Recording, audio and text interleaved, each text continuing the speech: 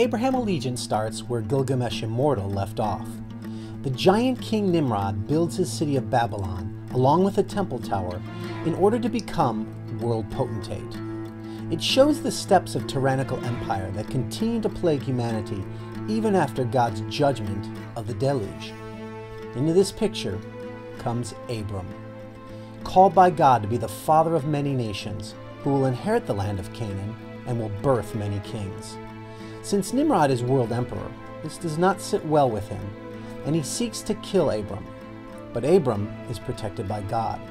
When God judges Nimrod by confusing the languages of the people and dispersing them to the ends of the earth, Nimrod loses his kingdom and sets out on a lifelong quest to find Abram and kill him in order to thwart God's plans for a seed line of God's people. But Nimrod isn't the only one working against God. Away in the land of Canaan, the goddess Ashtart is breeding the seed of the serpent through the bloodline of the cursed son of Noah, Canaan. And she's doing it in Sodom and Gomorrah. You think you know how the story ends, but there's more to it than you've ever realized, as these three will come crashing into one another as the war of the seed rises. Many people think of Abram as a nomadic shepherd. So they think of him as a rather sedentary or peaceful holy man.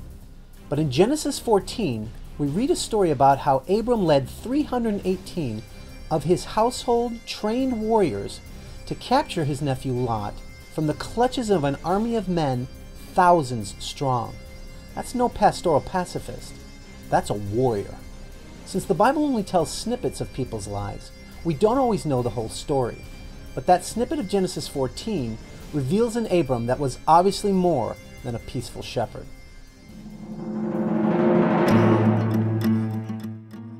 The Bible only starts with Abram's story when he's about 50 years old. Then it makes a few jumps from age 75 to age 100 before he has Isaac that leads into Jacob and the creation of the Hebrew nation. That's 50 years of Abram's life that we know nothing about. And then another 50 about which we know almost nothing. Ancient Jewish legends try to fill in those intervening years in a way that makes the sparse biblical information make sense. It's like connecting the dots. So while I don't consider these apocryphal stories to be scriptural, they are a rich heritage of tradition from which to draw fascinating stories of people of faith. I kind of see it like my way of showing respect to the great storytellers of old by retelling their stories with freshness while drawing from their imaginative resources.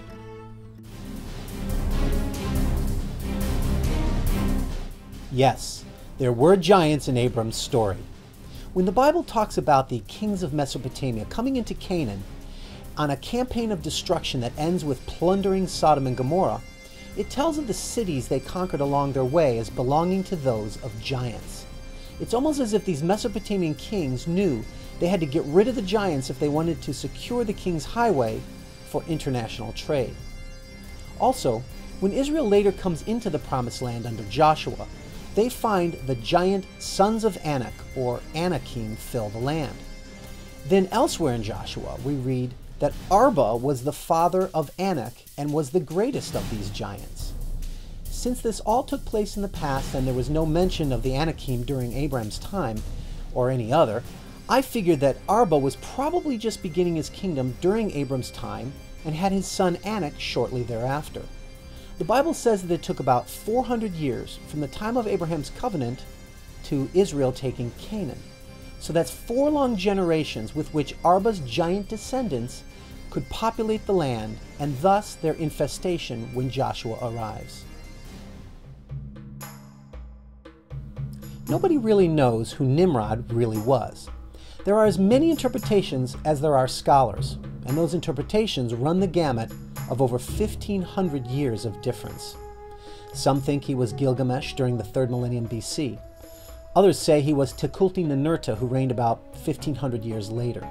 Some even say he has no known historical identity. The problem is that the Hebrew word for Nimrod means to rebel, so it is most likely a Hebrew demonized nickname rather than the real name. This is exactly what the Hebrew writers did with the name Babel, which means confusion, rather than the original name Babylon, which means gateway of the gods. Now, there are a lot of legends that surround Nimrod, but the most influential comes from Alexander Hislop's The Two Babylons. Unfortunately, Hislop's storytelling was made up in his own head as a way to justify his anti Catholic polemic in the book. The ancient Jewish source that I used was the Book of Jasher, a book that some believe was one of the sources of the Bible writer's own history. So sit back and enjoy Abraham Allegiant about the forefather and patriarch you thought you knew.